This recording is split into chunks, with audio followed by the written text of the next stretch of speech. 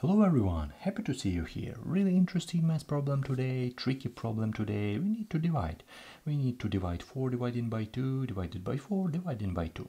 And on the first side this problem is easy one. A lot of students can solve it easily. Right here we have an option. So right now I suggest you to pause the video real quick and try to solve it by yourself. Write a suggestion in comment and after 30 seconds we will check our answer. So we have a, a lot of division. We don't have addition, multiplication and subtraction. We still have all divisions so divide all of this number and write your suggestion in the comment. I swear you will be surprised about the answer.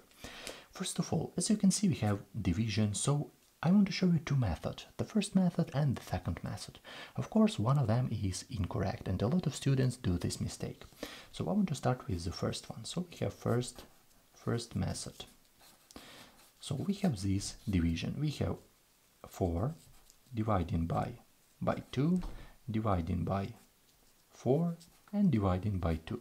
So we have this with, we have this expression. A lot of students do this mistake. They think that they, they can go in another order. So they can divide 4 divided by 2. They can do that. They think that they can do it. 4 divided by 2 is, is 2. And they can go do the same thing with this one. So 4 divided by 2. They think that they can do this. And 4 divided by 2 equal to 2. And we still have one moment. 2 dividing by by 2. If we divide 2 divided by 2, we will have 1. Because 2 divided by 2, 1 and option A, they, they think that this is absolutely correct and they they finished with this problem. But I want to show you the second method. So take a look closely. We have the second method. Second method. Second method. If we go from left to right, we have this situation. We have 4 dividing by 2 dividing by 4 and dividing by by 2.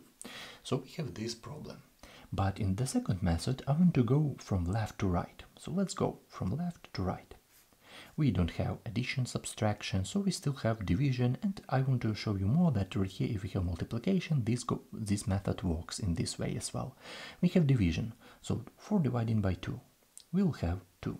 We still have 2 dividing by 4, I rewrite this, and dividing by 2.